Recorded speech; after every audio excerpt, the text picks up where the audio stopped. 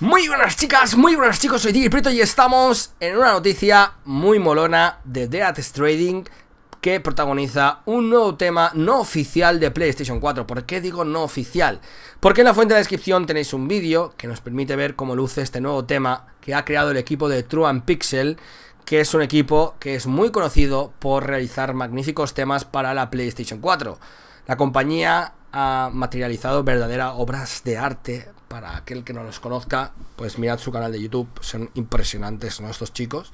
Y ahora pues se ha realizado uno que tiene que ver, eh, ha tomado a The Trading, el título de Kojima Productions, como su inspiración, ¿no?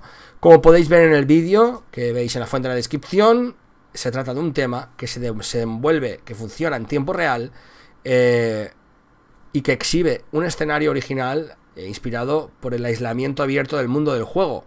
Es un modelado en completo 360 grados a través de fotogrametría en 3D y textualizado procedural para adecuarse a los 16 megas de memoria que tiene la consola para temas, dando así una impresión sumamente realista y muy inmersiva. Sin embargo, ¿cuál es el problema de todo esto? Pues que el tema no es oficial, por lo tanto no se puede descargar por los usuarios desde la Store. Actualmente no hay planes para que sea oficial, no obstante, True Pixel ha mostrado su interés por hacerlo realidad, mencionando así en Twitter que si Sony y, Hideo, y Kojima Productions, Hideo Kojima, si, si, ellos quieren, les gustaría que se, hiciera, que se hiciese oficial y se hiciese realidad y sacaran este tema, por supuesto, en la PlayStation Store.